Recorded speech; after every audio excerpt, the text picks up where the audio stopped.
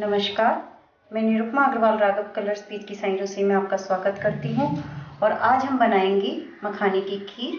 घर में बहुत ही झटपट बन जाती है और बहुत ही हेल्दी होती है ये। अक्सर हम लोग व्रत उपवास में इसको खाया करते हैं। चलिए, इसमें क्या क्या सामान की ज़रूरत होती है, चलिए देखते हैं। फुल क्रीम, हाफ़ लीटर दूध लिया है मैंने। आधा बाउल मैंने चीनी ली है। चीनी आप आवश्यकता अनुसार कम या ज़्यादा कर सकते हैं। केसर के धागे लिए हैं जिसको मैंने दूध में डिबो के रख दिया है काफ़ी देर पहले जिससे इसने कलर छोड़ दिया है। और ये मैंने इलायची पाउडर लिया है और ये किशमिश है। पिस्ता है ये मैंने छोटा छोटा काट लिया है इसको। और बादाम है पाँच छः बादाम मैंने काट लिए हैं। और ये काजू है ये भी मैंने काट लिए हैं। और ये घी है जिसमें मखानों को रोस्ट करेंगे।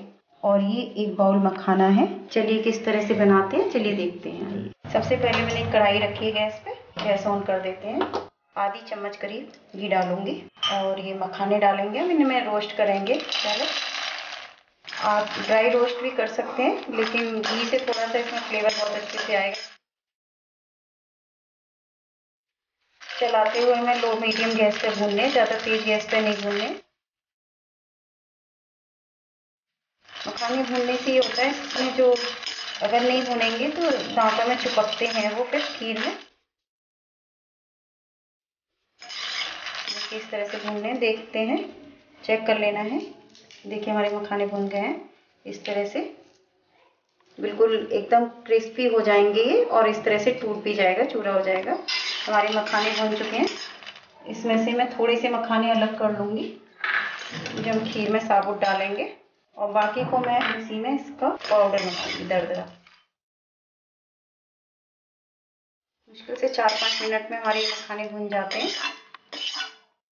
हाँ देखिए दरदरा इसका पाउडर बना लेती हूँ। हाँ हमने ये दरदरा पीस लिया है मखाने को। ऐसा हम करते हैं और दूध डालते हैं इसमें। थोड़ा दूध को उबलने देते हैं, फिर मखाना डालेंगे हम इसमें। देखिए, दूध उबलने लगा है। अब इस गैस को लो मीडियम कर देंगे हम। मखाने जो हमने दरदरे पीसे थे, उसमें डालते हैं। बिल्कुल लो गैस पे हम इसे बनाएँगे। धीरे धीरे ये खीर। अब इसमें मैं सबसे पहले केसर वाला दूध ऐड करूँगी। इससे इसका कलर बहुत अच्छे से आएगा। आप इसे किसी भी व्रत में यूज़ कर सकते हैं। बहुत ही हेल्दी डिश है ये। और इसमें अब मैं थोड़ी सी डालूँगी किशमिश। और इसी समय मैं डालूँगी इसमें बादाम। सॉफ्ट हो जाएँगे और थोड़े से मैं काजू डालूँगी इसमें।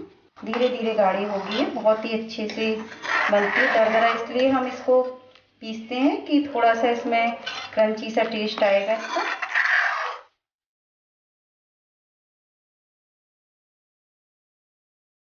और मैं डाल देती हूँ इसमें ये इलायची पाउडर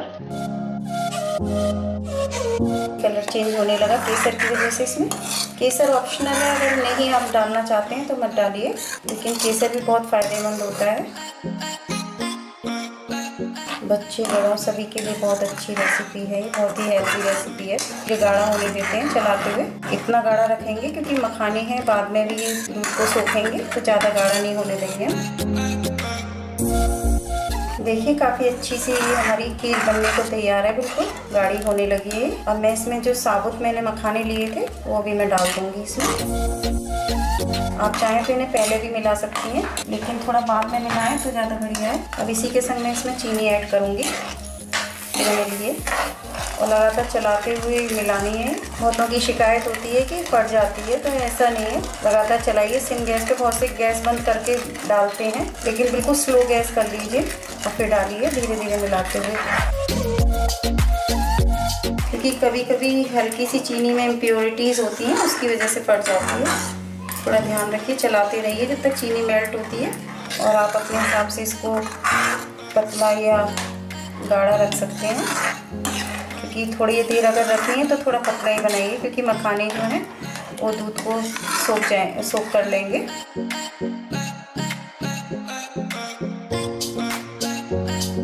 हमारी खीर बनने को तैयार है बिल्कुल। हाँ अब मैं इसे डिश आउट करती हूँ।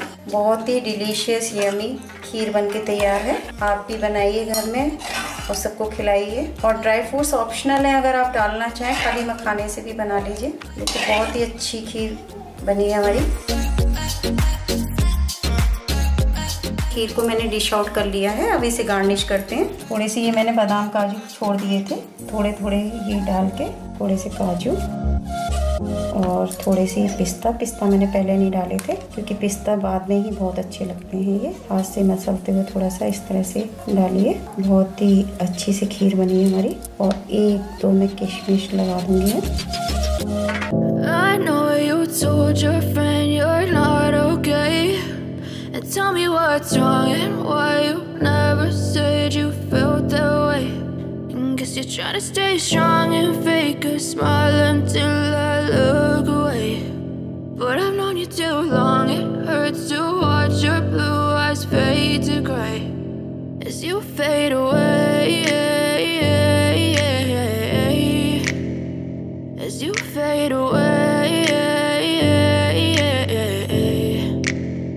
Yeah, I'm about to fade away. Cause every time I wake up I feel like it's Monday. Something's going wrong with all the chemicals up in my brain. All of a sudden I don't look at anything the same way. Gotta build up of my thoughts sitting in an ashtray. I'm sorry that I'm so inconvenient, okay Just let me be me and I'll stay out of your way. I can see the way you look at me, I'm such a disgrace. I never really asked to be brought into this place. You wanna love me? Well then baby have a taste. All the highs and the lows no, you'll never be the same. I don't really wanna hurt you, but I can't control the pain. If you're sticking by my side, maybe we could be okay. Okay, okay, maybe you could be the change